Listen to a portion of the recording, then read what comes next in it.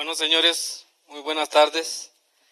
Eh, primeramente, pues agradecemos, ¿verdad?, la buena disposición del nuevo gobierno, ¿verdad?, de estar acá en la mesa, ¿verdad?, para la instalación de la comisión, para la verdad, en nuestro caso, ¿verdad?, de Yoxinapa.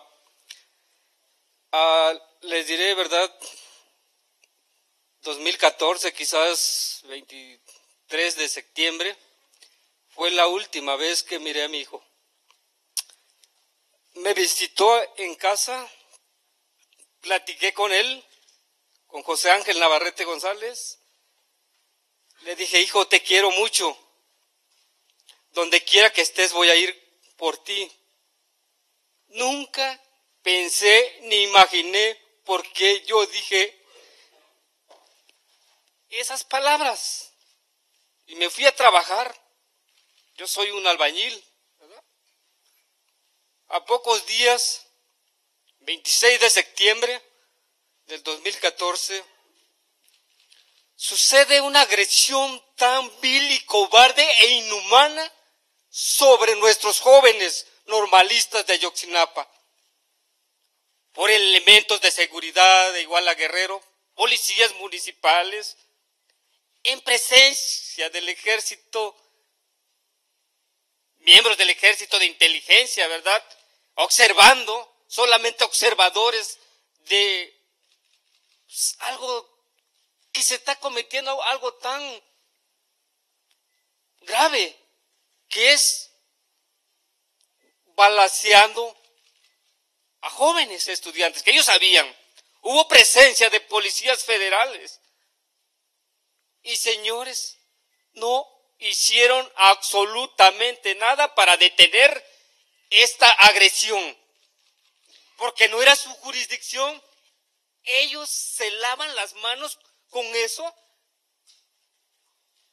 Yo creo que cualquier hombre, cualquier ser humano, no importa del país que, eh, te encuentres, cuando veas algo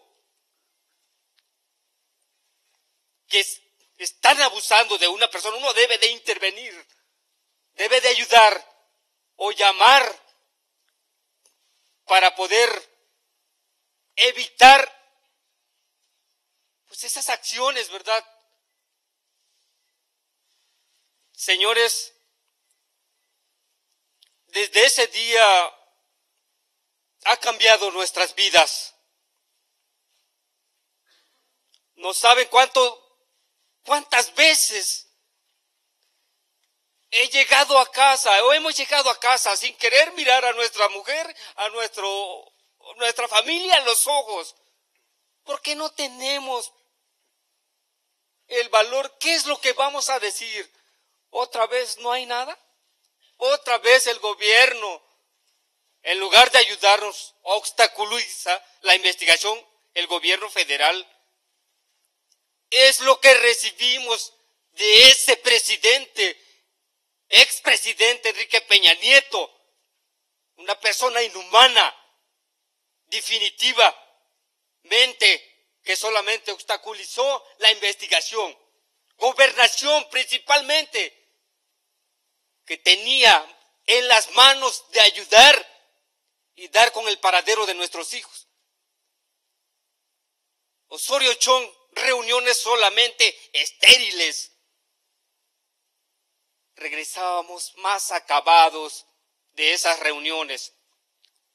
Policías federales observando en el Palacio de Justicia de Iguala Guerrero, ¿verdad?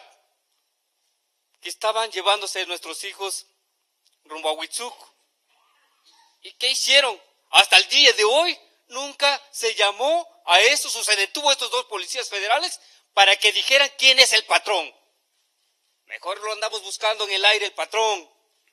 Y así se pasó su tiempo ese gobierno de Enrique Peña Nieto, que tanto daño nos hizo. Señores, para nosotros la esperanza renace. De verdad, les agradezco como padre y como ser humano esa gran disposición como nuevo gobierno que tienen por llegar a la verdad. Tanto es así que desde el día 26 de septiembre, ¿verdad? En la primera reunión con el señor presidente Andrés Manuel López Obrador, pues ha habido, ¿verdad? Este trabajo de ir conformando cómo vamos a llegar a la verdad. A mí me dio esperanza. Conocer al señor Alejandro Encinas. De verdad se lo digo y soy sincero y quiero que en un momento no muy lejano decirle, señores, gracias por devolvernos la otra parte de nuestra vida. Queremos compromisos firmes y serios. Queremos llegar a la verdad. Queremos saber a dónde están nuestros hijos o qué pasó con ellos. Agradezco mucho igual la Comisión Interamericana de Derechos Humanos, señores, por colaborar o ayudar en la investigación, pero desgraciadamente el ex presidente Enrique Peña Nieto definitivamente nunca le importó. En lugar de apoyar la ayuda técnica internacional, simplemente empezó a, no, darles este, el lugar que se merecen, el respeto que se debería. Y admiro el gran trabajo que hizo el alto comisionado de la ONU, siendo de otro país, vino a demostrarle a este gobierno mexicano de cuántos errores ha cometido en una investigación estuviésemos en otro país con un simple error en esta investigación que hizo la Procuraduría General de la República, Murillo Cara en este momento estuviera tras las rejas o siendo investigado. Pero aquí todo quedó en la impunidad. Todos andan libres. Señores, yo le pido, ¿verdad? Compromiso, seriedad. Señor Marcelo Ebrard, lo que esté en sus manos, ¿verdad?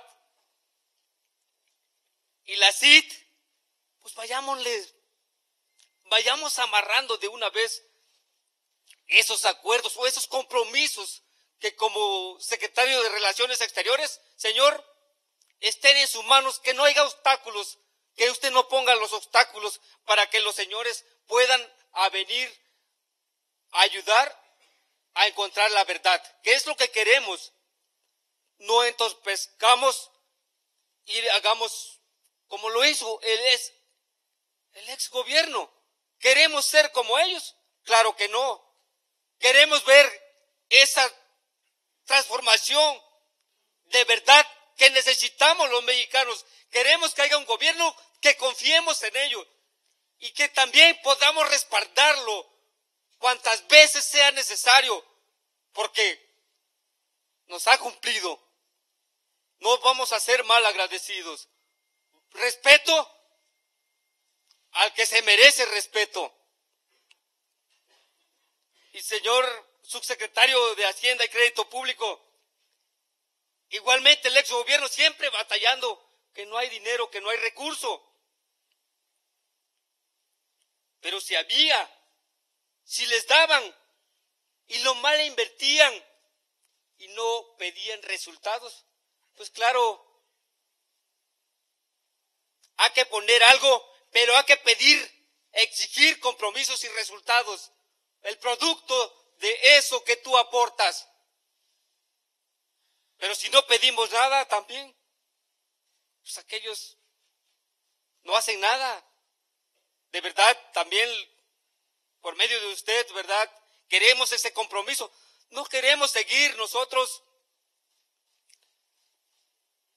pues, como nos dicen muchos, ¿verdad? Que somos flojos o que somos, que ya chocamos, son la vida de nuestros hijos. Y lo dijimos en ese momento con el gobierno, en ese tiempo, que vamos a dar la vida por ellos. Queremos la verdad.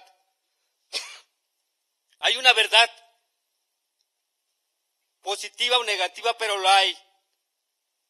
Tratemos de romper esos pactos de silencio que crearon, no lo crearon unos tres, uno de esos policías municipales de Iguala, no lo crearon este, un par de grupitos de guerreros unidos que ya hasta fueron liberados, los meros que, este, dicen que quemaron a nuestros hijos. ¿Cómo es posible que, alguien que cometió supuestamente algo tan grave ya están libres? Entonces, para mí solamente confirma la gran mentira que hizo el gobierno de Enrique Peña Nieto. Señores, pues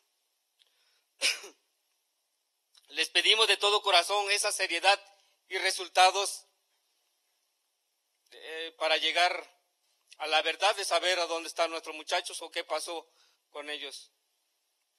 Pues muchas gracias, señores, por escucharme.